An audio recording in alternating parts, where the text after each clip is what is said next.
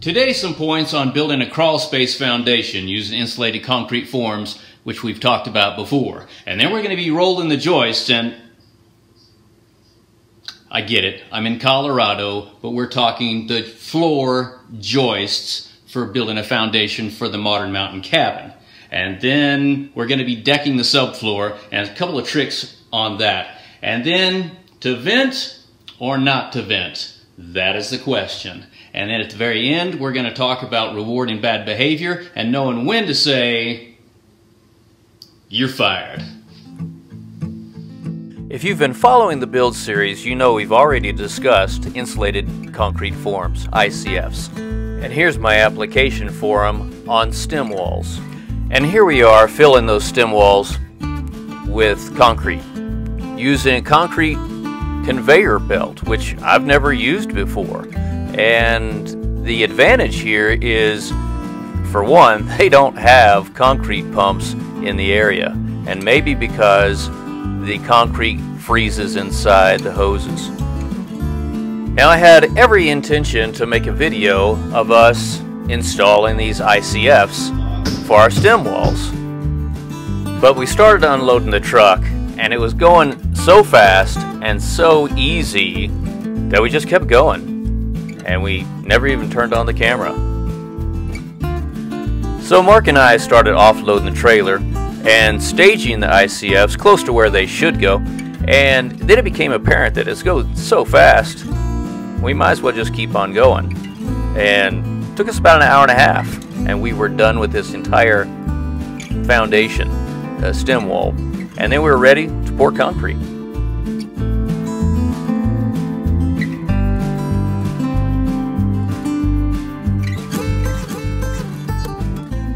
So now it's time to lay out all this 2x12 joist material and I like to lay them flat. It's kind of a safe thing. It's hard to fall through, it's easy to walk on them and you just stand them right up where they need to be.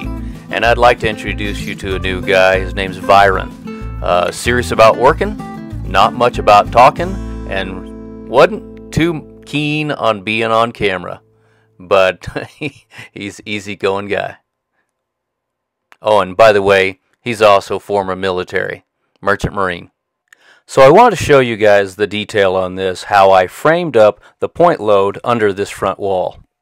I'm a SIPS builder, I'm an electrician, and I've been a framing superintendent for a while. The way you run electrical in a SIPS wall is through the crawl space, through the bottom, in conduit. And there's a closed cell. This is an 8 and a quarter thick, it's R54, and it's 17 foot tall. And I could bear on just the rim joist of an inch and a half, but I needed more than that, and I needed access also to run the electrical.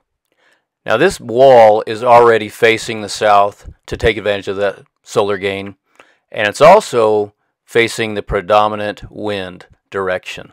Now we get gusts here a lot at 90 miles an hour, and this is built and engineered to 132 mile an hour gusts.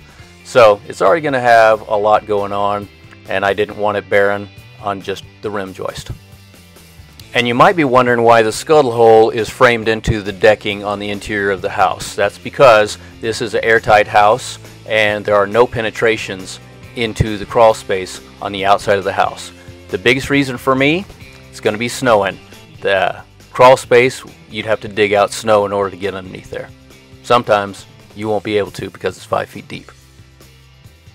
So a couple of things are happening really quick here. You might have seen at 4 inch PVC, we put that down in the crawl space. That's actually for the return for the heat recovery ventilation. So it's already going to be in there because we're about to close this thing up. And you might also notice that I do blocking as I go. Now I can already hear you typing right now uh, that it takes longer, and yes it does. Now time is not what I'm interested in. I'm actually looking at doing a better job and it's easier to access and nail as you go rather than come back and do the blocking later. Those are all over a mid-span beam. We call it midpoint beam some places and I can probably hear from the people that call it intermediate girder but their blocking is right over that. You might have also seen that blue flash that we just put underneath there in the crawl space. That's actually the vapor barrier. It's a 26 mil and really stout stuff. now's the time to put it down there. We roll it out, cut it to length, just laying there, and then use a 4 inch pipe and just roll it right underneath there without tearing it. Now this is going to cover a lot of things on decking this crawl space. I'm not getting into all the details of framing and rolling joist and nailing and everything.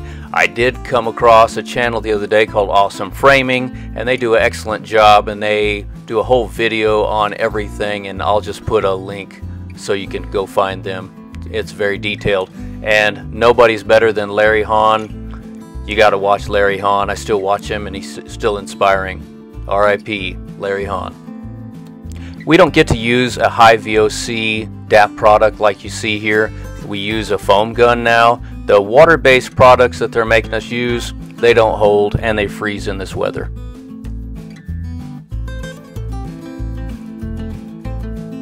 If life is a race, then building your own home just might be an obstacle course. You might as well plan for it to be a marathon. When the weather's coming in, might just turn it in to a sprint. Now here in Colorado at 9,000 foot in January, it does not get above freezing. And that weather right there is why I don't deck a crawl space until about a week before the SIPs are going to come in. I don't want any degradation of the materials. Now I promised we were going to talk about vents. Now First thing you might notice on this crawl space is there are no vents. We don't do vented crawl spaces anymore. Now when the excavator guy showed up to backfill, he was like, you got no vents. I go, we don't do vents. He goes, you got to have vents. I go, we don't do vents. And he followed with a line of explicatives. And I'm just going to keep it clean because this is a family show. As a rule, I don't backfill until all the joist and the decking is done because the pressure on the walls uh, from the dirt and the heave from the frost uh, can collapse and just uh, deform your stem walls. So I want you to notice it's pretty much artwork, somebody that can handle a big machine excavator like that in close proximity to things around him. That's such a soft touch. I can do it myself now in this video. You can see I like getting really close to. There's a porch right above me. But this guy right here, he's been doing it for a dang long time. He's really good until he isn't. And you might be asking, where's the grizzly? And there's a grizzly right there. If you don't know what a grizzly is, it's not a bear coming after you. But it was a bear on this job because he started dumping all these boulders and pushing up up against the house. We talked about it, we disagreed about it, and I had to ask him to leave. So, didn't realize that firing him was going to be such a big deal. I had the sheriff come out and he said, I need to warn you. The county officials came out and said, hey, you need to be watching your back. And I'm like, nah, I'm not going to do that. But uh, it got into a big old deal. He ended up quitting his job with as an inspector. It became a big deal and wish it wouldn't have been. But also, here's a rule that I play by. If someone is more interested in making money than making a reputation based on good work, then they're not my kind of people, and I'm going to ask them to leave. Now, I don't know to recommend this, but we didn't have a contract. He insisted on just a handshake deal. I was good with that. That's the way they did it. I didn't want to buck the system. And he was happy when I showed up at his house. Don't recommend that, but I did pay him his check. And you're going to have to come to a decision based on if you can do the work yourself, you can replace them because they may be the only game in town. But you know what? Don't ever jeopardize your integrity or the integrity of the build because some things are worth more than money. So if you've got the right equipment, in this case a Grizzly, half mile down the road, then go get it and use it and do the job right.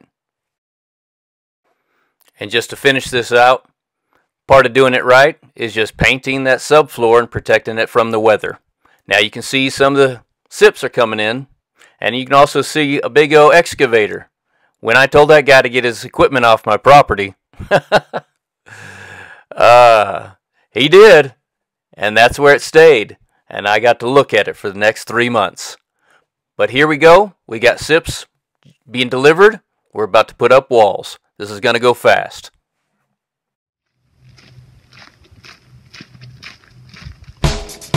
So now go build it. Zap.